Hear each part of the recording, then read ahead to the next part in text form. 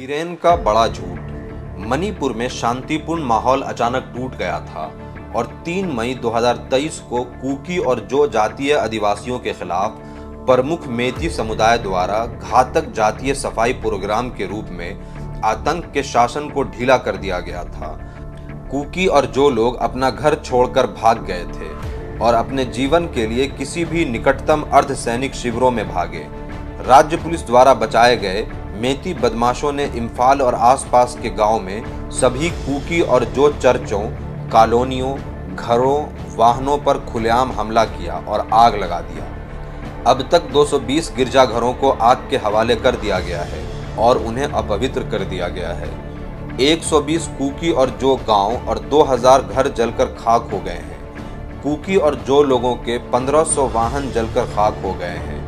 इक्यानवे कुकी और जो आदिवासी मारे गए हैं और एक गंभीर रूप से घायल हुए हैं। पैंतीस हज़ार कुकी और जो लोग विस्थापित होकर बेघर हो गए हैं। इतनी नफरत क्यों है? कुकी और जो लोगों के खून के लिए मेतई इतने प्यासे क्यों हैं? किसने भड़काया और उनका ब्रेन वॉश किया? कुकी और जो लोगों के खिलाफ चल रहे इतनी क्लिनजिंग अभियान का मास्टरमाइंड कौन है? इसका जवाब मुख्यमंत्री सहित मेती समुदाय के कुछ बुद्धिजीवियों और अभिजात वर्ग की गहरी साजिश में निहित है। इन सभी जघन्य अपराधों और घृणा को स्वदेशी, कुकी और जो आदिवासियों को बदनाम करने, कुकी और जो लोगों के खिलाफ मेती द्वारा रचे गए बड़े झूठ के षड्यंत्र को समझने के लिए हमें मणिपुर के भौगोलिक और जनसंख्यिक मानचित्र को समझने की आवश्यकता है। मणिपुर में तीन प्रमुख समुदाय हैं। सामान्य श्रेणी मेती राज्य के मध्य क्षेत्र पर कब्जा कर रहे हैं, जबकि कुकी और नागा आदिवासी पहाड़ी क्षेत्रों पर कब्जा कर रहे हैं। कुकी और जो लोग मुख्य रूप से दक्षिण और घाटी के आसपास के जल ग्रहण क्षेत्रों में स्थित तलहटी में केंद्रित हैं, जिससे नागांव और मेती क्षेत्रों के बीच बफर जोन उपलब्ध होता है। मेती राज्य में सबसे अधिक आबादी वाला और प्रभावशाली समुदाय है। उनकी आबादी में कुल आबादी का तिरपन प्रतिशत शामिल है। हालाँकि वे केवल घाटी में ही सीमित हैं, जो राज्य के भौगोलिक क्षेत्र का 10 प्रतिशत है। इनकी भूमि, समतल और उपजाऊ है।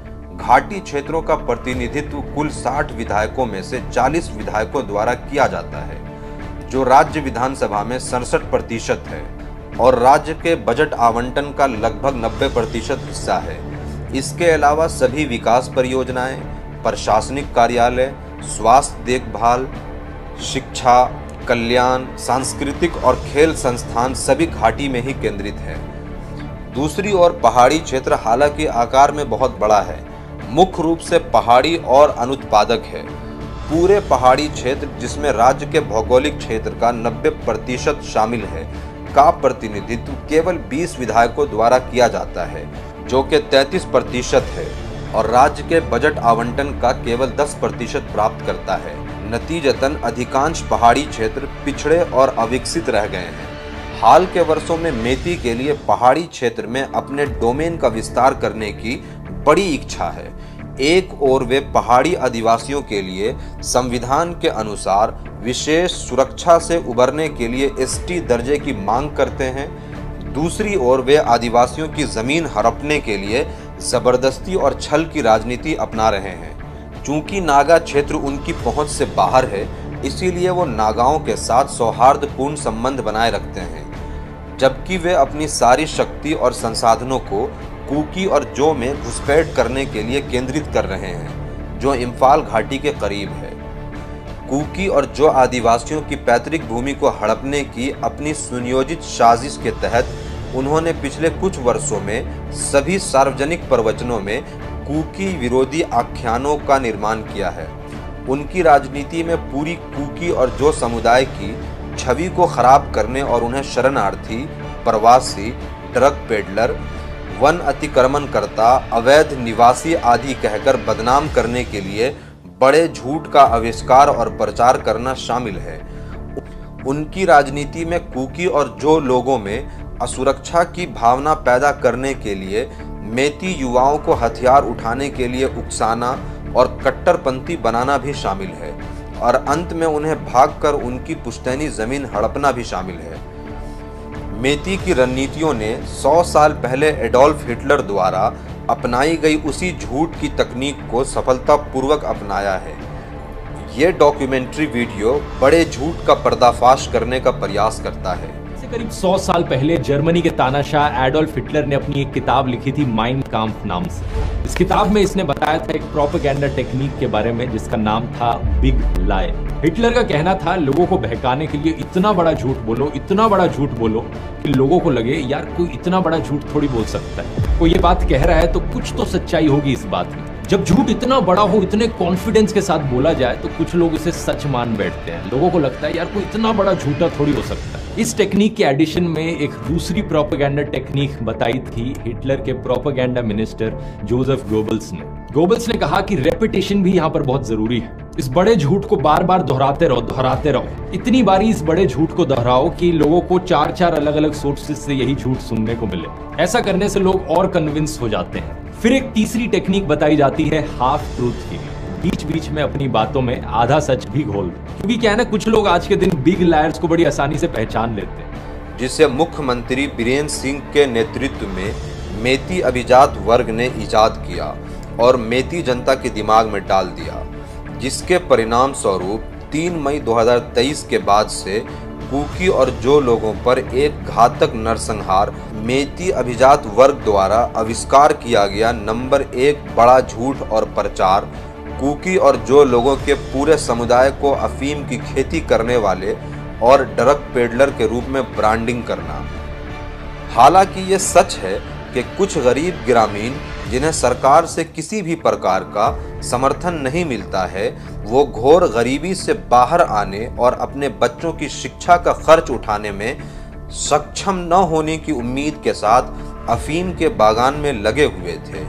ये भी सच है कि कुकी और जो के अधिकांश लोग अफीम की खेती का विरोध कर रहे हैं। अफीम की खेती को रोकने के लिए, सरकार के प्रयासों का समर्थन करने के लिए चर्च के सभी नेता और प्रमुख कुकी और जो संगठन खुले तौर पर सामने आते हैं।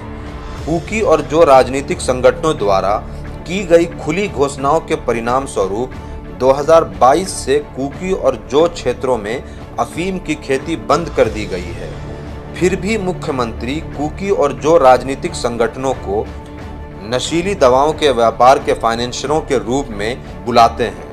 ये वास्तविक ड्रग लॉर्ड्स और किंग पिन को कवर करने के दोहरे मकसद से किया जाता है, जो कि मेती है। और सरकार के बीच चल रही कुकी राजनीति बातचीत को तोड़ मरोड़ कर पेश करते हैं, भारत और कुकी जो राजनीतिक संगठनों के। ये सर्वविदित तथ्य है कि अफीम उगाने वाले गरीब ग्रामीण नशीले पदार्थों के बड़े खतरे में केवल प्यादे भर हैं। असली ड्रग लॉर्ड्स और कार्टेल के नेता सभी मैती हैं। जिनमें से कई खुद मुख्यमंत्री के साथ निकटता से जुड़े हुए हैं। हाल के दिनों में हुए ज़्यादातर हाई प्रोफ़ाइल गिरफ्तारियाँ घाटी के ही लोग हैं। गिरफ़्तार किए गए इन ड्रग तस्करों और तस्करों में से कई मुख्यमंत्री के अपने विभाग के तहत काम करने वाले सरकारी कर्मचारी हैं और कुछ उनके कैबिनेट मंत्री के करीबी रिश्तेदार हैं। ये वो सच्चाई है जिसे मुख्यमंत्री अच्छी तरह जानते हैं, फिर भी आँखें मूद लेते हैं। चूँकि मुख्यमंत्री के ड्रग पर युद्ध का अंतिम लक्ष्य कुकी और जो लोगों को उनकी पैतृक वन भूमि पर उनके अधिकारों को बदनाम करना है, वह तेजस्वी मीडिया कवरेज के साथ केवल कुकी और जो पोस्ता प्लांटर्स को निशाना बनाते हैं, जबकि नागा पोस्ता प्लांटर्स को आबादित छोड़ दिया जाता है। पूरे कुकी जो लोगों की छवि को खराब करने के अपने हताश प्रयास में बीरेन सिंह फेसबुक पर किशोरों के साथ बहस करने और कुकी और जो समुदाय के खिलाफ सभी प्रकार के नफरत और नाम बुलाने वाले संदेशों को पोस्ट करने की हद तक गिर गया है। मुख्यमंत्री गरीब गाँव को वैकल्पिक आजीविका प्रदान करने में विफल हैं। वह युवाओं को नौकरी का अवसर प्रदान करने में विफल रहता है। वह शांति बनाए रखने में विफल रहता है। वह मेतई ड्रग्स, लॉर्ड्स और कार्टेल्स को नियंत्रित करने में विफल रहता है। इसके बजाय वो पूरे कुकी और जो लोगों को बदनाम करने और नशीली दवाइयों पर युद्ध की आड़ में उन पर युद्ध की घोषणा करने का विकल्प चुनता है। बीरेन का दूसरा बड़ा झूठ ये दावा करना कि कुकी और जो के लोग हर जगह आरक्षित वन वन की रक्षा, गीली भूमि आदि पर अतिक्रमण कर रहे हैं। स्वतंत्रता से पहले स्थापित किए गए कई कुकी और जो गाँवों को अवैध घोषित कर दिया गया है। और बेदखली बिना पर्याप्त नोटिस दिए और उचित प्रक्रिया का पालन न करते हुए की गई है। सबसे बढ़कर मानवता के लिए विचार किए बिना, जब कुकी और जो के लोग गरीब आदिवासियों पर सरकार की बदतरीन बेदखली के खिलाफ अपना विरोध दर्ज कराने के लिए सभी पहाड़ी जिलों में एक शांतिपूर्ण रैली के लिए निकले तो बीरेन सिंह ने बिना किसी कारण के सी आर पी सी एक लगा दी। कुकी और जो राजनीतिक को दोष देकर सार्वजनिक रूप से अपने गंदे कपड़े धो दिए, जिन संगठनों का जनता के विरोध से कोई लेना देना नहीं था। कुकी और जो के लोगों पर अपने अपमानजनक रवैये का पीछा करते हुए बीरेन सिंह अत्यधिक शहरीकृत चूरा चांदपुर शहर के मध्य में गीली भूमि पर संरक्षित जंगलों के लिए एक सर्वेक्षण करने के लिए मजबूर हो गए। जो राज्य का दूसरा सबसे बड़ा शहर और कुकी और जो लोगों के लिए सबसे बड़ा शहर है, उनके उकसावे ने मानवीय सहनशीलता की सीमा को पार कर दिया था। उसने चूरा चांदपुर के कुकी जोड़ के युवाओं के रोष को भड़का दिया था। उन्होंने बाद में कस्बे में अपने कार्यक्रम स्थल पर तोड़ फोड़ की। बीरेन का तीसरा बड़ा झूठ, काल्पनिक जनसंख्या विस्फोट सिद्धांत के आधार पर पूरे कुकी और जो लोगों को हाल के प्रवासियों और शरणार्थियों के रूप में ब्रांडिंग करना। कुकी और जो लोग आदिवासी हैं, हाल तक उन्हें नहीं पता था कि लिखित रिकॉर्ड कैसे बनाए जाते हैं। लिखित रिकॉर्ड की कमी के कारण मणिपुर में कुकी और जो लोग अपनी वर्तमान मातृभूमि में कब पहुँचे थे, उसकी सही तारीख का पता लगाना असंभव है। हालाँकि यह अच्छी तरह से प्रलेखित है कि कुकी और जो लोग बड़ी संख्या में नागाओं के साथ साथ वर्तमान मणिपुर की पहाड़ियों में अंग्रेज़ों के आने से बहुत पहले और वर्तमान मणिपुर के जन्म से बहुत पहले बस गए थे। मेतई प्रचार नेता हर संभव मीडिया के माध्यम से आम जनता के बीच ये दावा करके झूठ फैला रहे हैं कि कुकी और जो के अधिकांश लोग स्वतंत्र रूप से मणिपुर में अवैध रूप से आ गए हैं। जिससे जनसंख्यिकी में असंतुलन पैदा हो रहा है। उन्होंने मेती जनता के मन में असुरक्षा की भावना को सफलतापूर्वक भर दिया है। वे जनता को कुकी और जो लोगों से अत्यधिक घृणा करने के लिए उकसाते हैं, जो कुकी और जो समूह द्वारा नए गाँव की मान्यता के लिए आवेदनों की संख्या में वृद्धि को म्यांमार से प्रवासियों के अवैध प्रवाह के निर्विवाद छत के रूप में उद्धृत करते हैं, जो सच नहीं है। वे इस तथ्य को नज़रअंदाज कर देते हैं कि नए गाँवों की संख्या में वृद्धि के बावजूद मणिपुर में कुकी और जो लोगों की कुल जनसंख्या असमान रूप से नहीं बढ़ रही है। वे इस तथ्य को समझने में विफल रहते हैं या आसानी से अनदेखा कर देते हैं कि नए गाँव के लिए आवेदनों में वृद्धि निम्नलिखित तीन कारणों से होती है। पहला 80 और 90 के दशक में कुकी नागा संघर्ष के दौरान उखरूल और तामेंग लोंग जिलों से भागे हुए बड़ी संख्या में आंतरिक रूप से विस्थापित लोग नए गाँवों की स्थापना करके कुकी और जो क्षेत्रों में फिर से एकजुट हो रहे हैं। दूसरा, कुकी और जो लोग पारंपरिक रूप से छोटे गाँव में रहते हैं, जब भी कोई मौजूदा गाँव एक निश्चित सीमा तक पहुँचता है तो उसे वन संसाधनों के समान वितरण को सक्षम करने के लिए माँ गाँव के अधिकार क्षेत्र के भीतर कई गाँव में विभाजित किया जाता है, क्योंकि वे शिकार और खेती को स्थानांतरित करते थे। तीसरा, इस विखंडन के प्रवृत्ति को N R E G S के कार्यान्वयन के बाद बढ़ावा मिला, क्योंकि कुकी और जो क्षेत्रों में ग्राम प्रधानों को इस ग्राम कल्याण योजना से बड़ा हिस्सा मिल रहा है। इसीलिए यह निष्कर्ष निकालना गलत है कि नए गाँव के लिए आवेदनों की संख्या में वृद्धि म्यांमार से कुकी और जो प्रवासियों के अवैध प्रवाह के कारण है। इसके विपरीत, म्यांमार में रहने वाले कुकी और जो लोग मणिपुर में प्रवास करने की कभी इच्छा नहीं रखते, क्योंकि वे मणिपुर में रहने वाले अपने भाइयों की तुलना में अधिक समृद्ध और अधिक सम्मानित हैं। फिर भी मेती प्रचार नेता, कुकी और जो आबादी में अनुपातहीन वृद्धि पर काल्पनिक डेटा का हवाला देकर इस झूठ को फैलाते रहते हैं, जबकि जनगणना द्वारा दिए गए आंकड़े इसके बिल्कुल विपरीत बोलते हैं।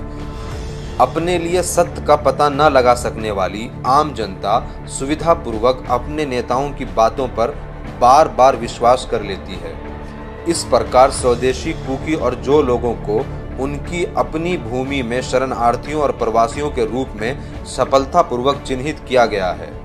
मेती के बुद्धिमान विधायक को जनता के सामने आत्मविश्वास से झूठ बोलते देखना बहुत आश्चर्यजनक है। Saying he took an oath to protect the integrity of Manipur where is the oath he took at the assembly wall was to protect the integrity of India वह ठीक ही कहते हैं कि हमें खेल के स्तर की आवश्यकता है। हमारे पास पहाड़ी और घाटी के लिए समान संख्या में विधायक होने चाहिए।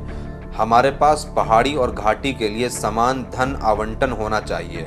हमारे पास स्वास्थ्य देखभाल, शिक्षा, व्यवसाय, खेल और सांस्कृतिक विकास के लिए समान बुनियादी ढांचा होना चाहिए। श्री सपन द्वारा उद्धृत कई बड़े झूठों को दूर करने के लिए आइए हम बी ब्राउन द्वारा लिखित और 1873 में प्रकाशित मणिपुर के मूल राज और इसके नियम के तहत पहाड़ी क्षेत्र के सांख्यिकी खाते पर एक नज़र डालें। इस ऐतिहासिक रिकॉर्ड के अनुसार 1873 में मणिपुर की कुल जनसंख्या तेरह लाख नौ हज़ार थी, जिसमें से पहाड़ी लोगों की आबादी पैंसठ हज़ार थी, जो छियालीस दशमलव सात आठ प्रतिशत हो जाती है। पुस्तक में यह भी उल्लेख किया गया है कि कुकी और नागा जनजातियाँ पहाड़ी क्षेत्रों में समान रूप से हावी हैं। इससे कुकी जनजातियों की जनसंख्या, मणिपुर की कुल जनसंख्या का कम से कम 20 प्रतिशत होगी। इससे मेती विधायक निशिकांत सपन के उस दावे का खोखलापन साबित होता है कि 1901 में कुकी की आबादी एक प्रतिशत थी। वह और कुछ नहीं, बल्कि एक बड़ा झूठा है। हालाँकि वह सही हो सकता है अगर वो मणिपुर को केवल इम्फाल घाटी के रूप में संदर्भित करता है। 1904 में गिरियर्सन द्वारा लिखित भारत का भाषाई सर्वेक्षण खंड तीन, भाग तीन, शीर्षक वाली एक अन्य ऐतिहासिक पुस्तक में कुकी और जो जनजाति की कुल जनसंख्या 6 लाख से 10 लाख के बीच होने का अनुमान लगाया था, वह कुकी और जो क्षेत्र की सीमा का भी विशद वर्णन करता है, जो वर्तमान मणिपुर से बहुत बड़ा है। ये सभी साक्ष्य ये साबित करने के लिए पर्याप्त हैं कि कुकी की अस्मिता और कुकी और जो लोगों की बसावट, जिसे श्री सपन या कोई भी व्यक्ति सिर्फ़ इसीलिए दूर नहीं कर सकता क्योंकि वे उनकी ज़मीन हड़पना चाहते हैं। अब नज़र डालते हैं 2011 की जनगणना पर। 2011 में मणिपुर की कुल जनसंख्या अट्ठाईस लाख निन्यानवे हज़ार सात सौ चौरानवे है। कुकी और जो लोगों की कुल जनसंख्या चार लाख अड़तालीस हज़ार दो सौ चौदह है। यह मणिपुर की कुल आबादी का पंद्रह दशमलव चार पाँच प्रतिशत है। यह श्री सपन द्वारा बताए गए उनतीस प्रतिशत आबादी से बहुत कम है, जिससे फिर साबित होता है कि तथाकथित पढ़े लिखे और समझदार मेती विधायक बड़े झूठे हैं। श्री सपन के दावे के विपरीत, मणिपुर में कुकी और जो आबादी का अनुपात 1873 में 20 प्रतिशत से घटकर 2011 में 15 प्रतिशत हो गया है। मेती की शिकायत है कि वे पहाड़ी इलाकों में नहीं बस सकते।